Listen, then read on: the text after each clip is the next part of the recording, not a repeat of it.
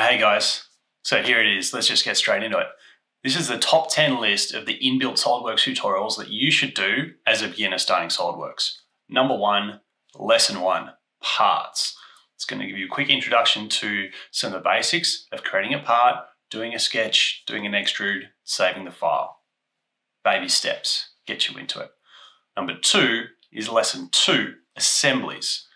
Main thing with SOLIDWORKS, you create your parts and then you bring them together in an assembly file.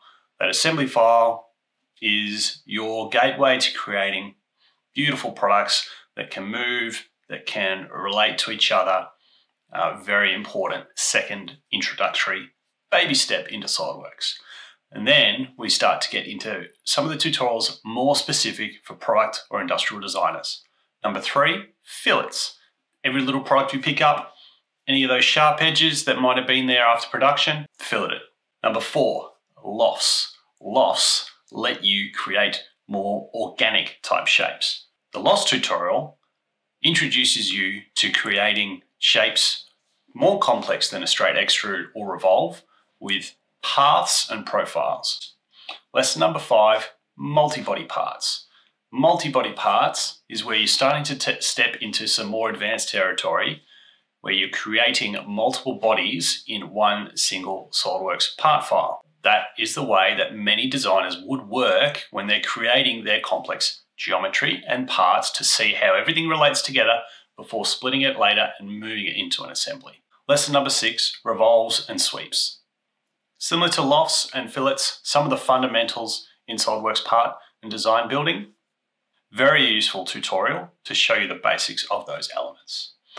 Number seven, if not the most important, at least top two out of this top 10 list, surfacing. Surfacing shows you how you can take a series of sketches and profiles and planes and turn them into a full product, okay? Just from a few little sketches in different places. Shows you the powerful tools that are available to split surfaces, to do lofts between them, to add tangencies, and then finally go from a surface to a solid body. Number eight on the top 10 list, pattern features. So often you will create in your designs an element of pattern, whether it be a texture, okay, some kind of grip, all right, some, some, kind of um, element that is repeated across faces or sides of a, of a product. Um, understanding how to use the pattern feature will save you lots of time from creating repeat uh, features. Lesson number nine, right up there with surfaces, is 3D sketches and 3D sketches with planes. So not everything you create, product design wise, is going to be made of flat sketches on 2D planes. Sometimes, regularly, when you're getting into more advanced design, you will need to work more in three dimensions with the geometry that you're setting up and creating and using to develop those products. And then finally, number 10, we finish with assembly mates. It's one of the key components of SOLIDWORKS. That's where you bring everything together. So all your beautiful part designs, your detailed parts, with advanced assemblies and assembly mates, you can see how they function, how they work together, how the movement works. And in that tutorial, that shows you from some existing parts, how you can bring everything together and use mates to line everything up beautifully. Now, what you won't get if you just run through these tutorials on your own is one-to-one -one guidance from an expert, as well as a few little tips that SOLIDWORKS left out of these tutorials. So I encourage you to watch my playlist here for those top 10 videos.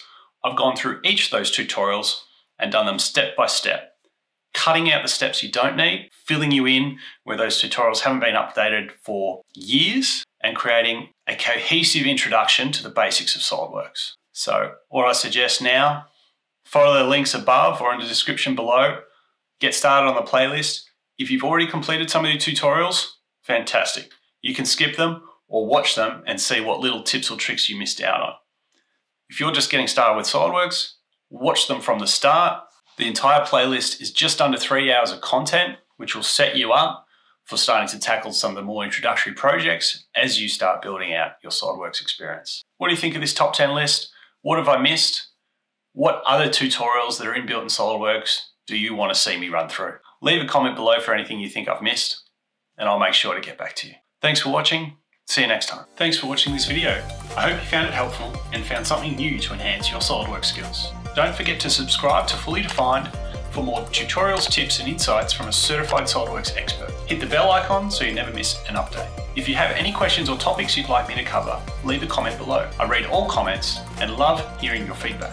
Remember, with the right skills and tools, you can turn your design dreams into reality. Keep modelling, keep learning, and always fully defined.